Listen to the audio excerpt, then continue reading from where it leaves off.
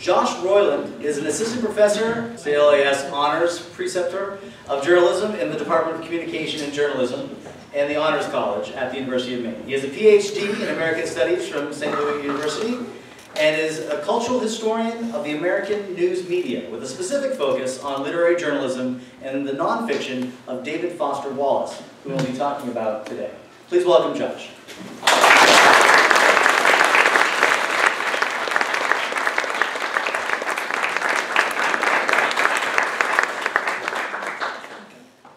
The, um, the title of my talk is, it, it kind of has significance. Um, it's called uh, Almost Aloud, uh, David Foster Wallace, and the familiar sound of anxiety. And for me, the sound of anxiety is silence.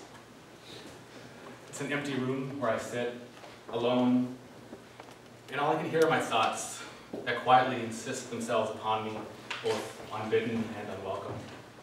And after a time, a time in which I get up and I walk through other empty rooms, only to return, and get up and return, those thoughts begin to take the same shape as that recursive path through my apartment, looping endlessly, relentlessly.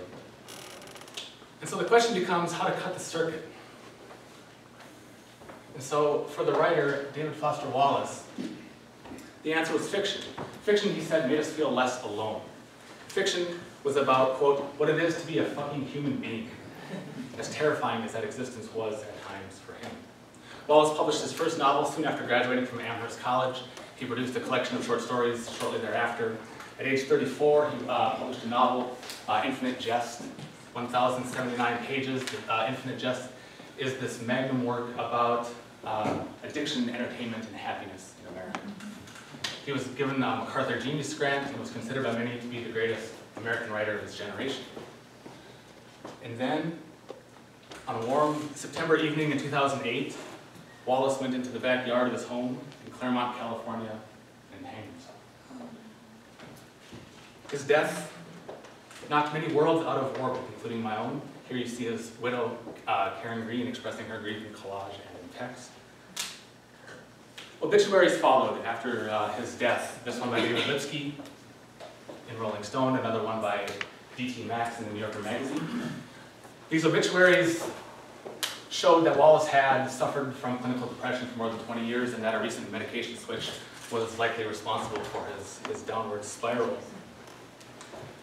And it's perhaps too easy now to go back and look and see all of the anxiety and depression in his work. But it's hard to watch this 1997 interview with Charlie Rose and not feel uncomfortable every time you see Wallace wince after giving actually a really thoughtful and brilliant answer. And so my own interest in Wallace uh, began with his magazine journalism. You can see here, Consider the Lobster, uh, about the Maine Lobster Festival. Um, the best way, I think, to understand Wallace's journalism is to think of it as consciousness on the page. And Wallace was awash in this consciousness, and it made him such a great journalist. Uh, he, he was compelled to, to, be curious and chronicle everything he saw. Um, so as cliche as it, as it sounds, for me, the way to process Wallace's death was to write about it. But that was actually difficult.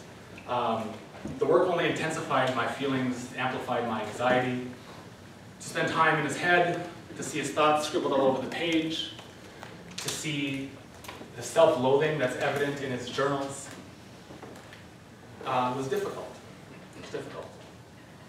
But I produced an article out of, out of this work um, saying that Wallace lacked what Nietzsche calls uh, oblivion, this active screening uh, device that uh, is responsible for closing off the doors of consciousness and uh, giving us a little bit of peace.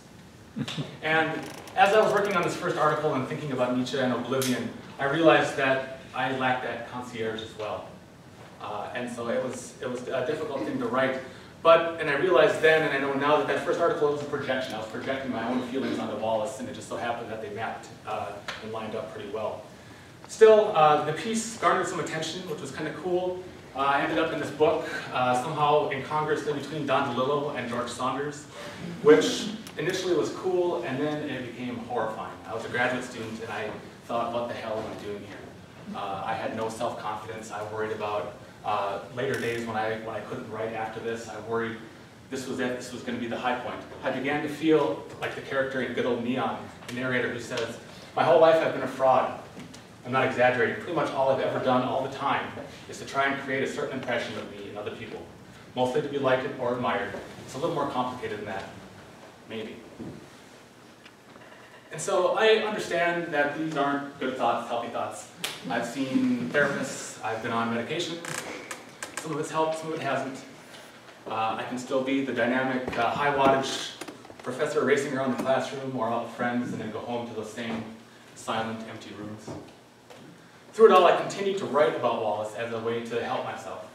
Uh, last year, I published another piece uh, that got republished by Longreads, and it got this uh, one of their 10 most popular exclusives of last year, which was neat. And then all of a sudden, I thought, now what? Now what do I need to do? And so it's always fleeting. That feeling's always fleeting.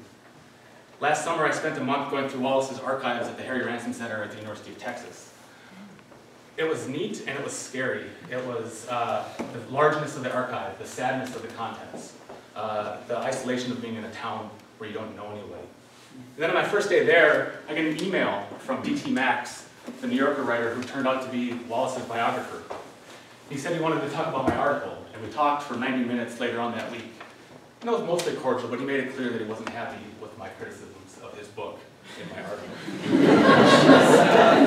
so, can imagine what that kind of did to me. I'm already kind of reeling a little bit, and then this first week I have a New Yorker writer telling me how bad I am. Wallace himself provided an antidote, if only in words, to some of these feelings. Uh, he gave a, a commencement address to Kenyon College in 2005 and about the value of a liberal arts degree, about it's giving you options for what to think about, how to be well adjusted.